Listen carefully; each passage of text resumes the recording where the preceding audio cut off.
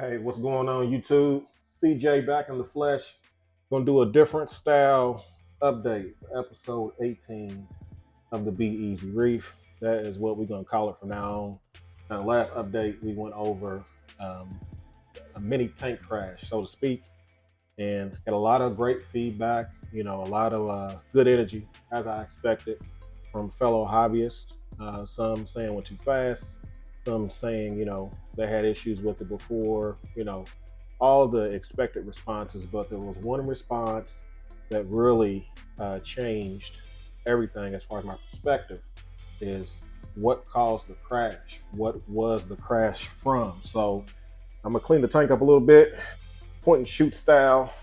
Try to do this in one take, uh, but I want to give you guys a quick look at the tank and where we are at as far as the bounce back, as far as uh, after the crash, you know, what the corals are doing. Then we're going to talk a little bit about what the real issue was that started this problem um, because unfortunately, I misdiagnosed the issue. So I misdiagnosed, I was treating the tank for a hair algae issue when in actuality, it was a bacterial issue. Let me track down my track down my uh, flipper float. I'll get this glass clean for you guys and give you guys a close look at the tank. But it ended up being a bacterial issue called Lyngbya, I believe is what it's called. I'm going to put a couple screenshots up of the information I found on it and a couple of the links, which ended up being a rabbit hole of information uh, with everyone who has fought this issue before. Now, Lyngbya is a form of cyanobacteria that closely resembles hair algae, but the color is the thing. So it's actually brown. It's brown, it's flowy. Um, fish actually pick at it, which kind of throws you off as far as what it actually is. And and it kind of feels and looks like algae. Like if you try to grab it, it actually you can actually grab it and pull it off. Uh, it kind of disintegrates in your hands a little bit, but it is a form of bacteria. So the treatment I did using the fluconazole was focused on the wrong thing, and the fact that all of the Lyngbya died off in the tank when I did the fluconazole also kind of made you think that it was algae as well. I'm thinking it was some kind of side effect. So, um, what happened during the tank crash, what I believe what happened was the nutrients bottoming out may have been a factor with creating the cyano, uh, the uh, cyanobacteria. As you guys know, no nutrients does cause cyano. And this form of cyano, I'm not sure how it got in the tank. Um, you know, there's been theories I've read that it's coming from RODI water, bad RODI water. You know, I've read theories that it's coming from um, bacteria in the bottle. You know, how sterile are these bacteria in the bottle that we're adding? Are they actually introducing, you know, bad bacteria as well? Is that part of the issue? So it kind of makes you kind of makes you wonder uh, what the cause of it was. Misdiagnosing the issue uh, led to a mass die-off in the tank of this nuisance, you know, Lyngbya algae looking stuff, which also, by the way, is toxic, very toxic. And it all died at once in the tank, which made the water toxic. And the fact that I was treating the tank with fluconazole prevented me from scrubbing, prevented me from using uh, carbon, prevented me from doing water changes per the instructions of the fluconazole. So I basically killed the cyano, left the toxins in the tank, misdiagnosing it, actually ended up leading to bigger issues in the tank. And knowing what I know now about how toxic that stuff is, I'm really glad I didn't lose any livestock in the process as well. So, why are we making this video? You know, the first thing is just letting you guys know that there was a misdiagnosis and the second thing is I'm actually noticing it start to come back in the tank. So you guys look on camera as I'm cleaning all this diatoms off the glass, you'll see that the rocks are starting to get more of the fuzz look to them that I had the first time. Now, first time this happened, that fuzz wasn't a concern. I'm thinking it's just the rock maturing, you know, ugly phases, ugly stages of the tank, as everyone says.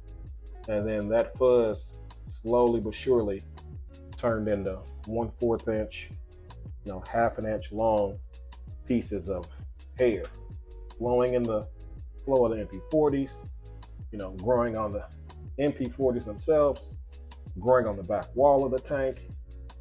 And then, you know, me thinking that I'm helping the situation, cleaning the black wall, and it's spreading through the tank, which made it worse. So I'm a little nervous to do that again. So what I'm gonna do is try to treat this with one of the three or four methods that I found reading that article on Reef to Reef. I've seen some uh, people recommend using a form of antibiotic. Um, I'm not really too keen on putting an antibiotic in the tank for this, at least not as my first method of choice because of the other effects that antibiotics have in your system. Um, another method of fixing it is going to be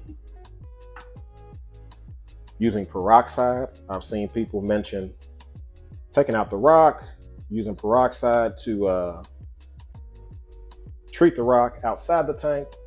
I've also seen people mention using peroxide in the tank, dosing the tank itself. Think one one milliliter per gallon or some kind of some kind of calculation. I'll have to look it up again, but peroxide is another method of choice to uh, try to treat this. So uh, the other option that I've seen is going to be using bacteria, uh, meaning Microbacter 7. Um, bacteria are Microbacter clean. There's also two options that I've seen people use uh, with varying levels of success for all of these different ways of trying to fight this. Um, there's not one magic bullet I've seen that gets rid of it for sure. You know, I've also seen cases where people have broken down tanks from it. So, uh, Lyngbya is going to be the new demon that I'm going to fight with on my return to the hobby. Um, something that never seen before, never had before, never dealt with before, but I'm going to be happy to document this for you guys as far as what happens with this in the tank. So, which one of those methods am I going to go with? You guys may be wondering.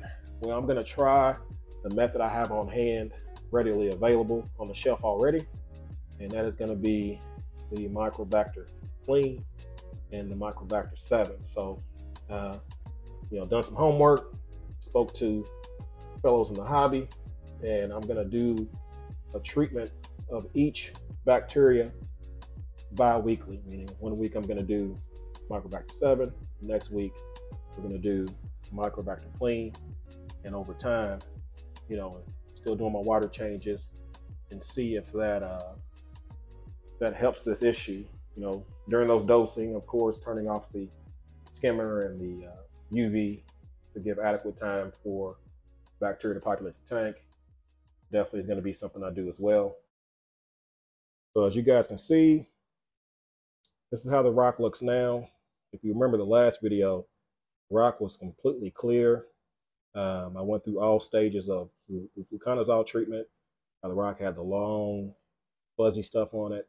Then it ended up going, you know, completely bare and looking like normal live rock.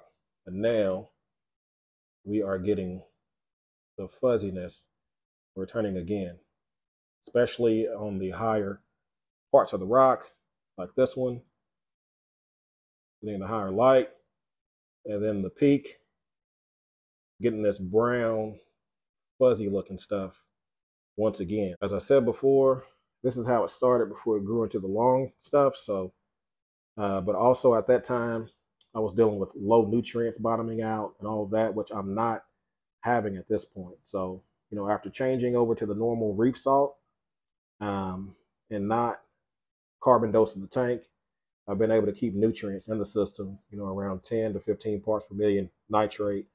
Phosphates have been detectable 0.2, 0.3, you know, I've kind of be within that range as far as phosphates. So I know I have nutrients in the tank, but I still don't know why I'm getting this happening. So I'm gonna give you guys a look at what is going on in the system. Now, as you guys can tell, corals that have survived are doing pretty good. Uh, we have polyp extension starting to show back up on the SPS that survived, uh, including bird of paradise, uh, the stylo on the back, this digitata, polyp extension, also starting to show a few growth tips that were not there before. Pocillopora, this stylo, I think it's like a tricolor stylo back there. So, I mean, as far as the corals that survived, for the most part, they're doing okay. Uh, still waiting on these hammers to recover and still waiting on my anemone to recover, which honestly is not looking too good. So hopefully I don't end up losing that guy.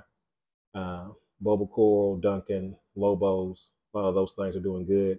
Even the GSP is opening again. So like I said, it's not a total loss by any means, but I do not feel that the battle is over for sure. So I just want to kind of give you guys a quick point and shoot style update. I think if I do these, it makes it a little easier to get them out without having to edit them too much. But overall, this is the tank. So I'm interested in knowing uh, what do you guys think as far as this Lyngbya bacteria issue in the system? Have you guys ever had this before? Is this something that uh, you've heard of before?